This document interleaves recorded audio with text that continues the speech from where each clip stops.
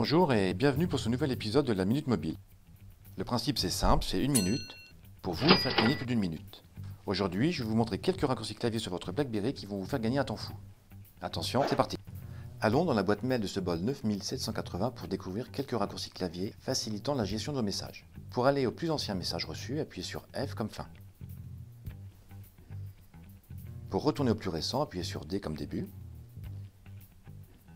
Pour voir tous vos messages envoyés, appuyez sur Alto comme Outbox.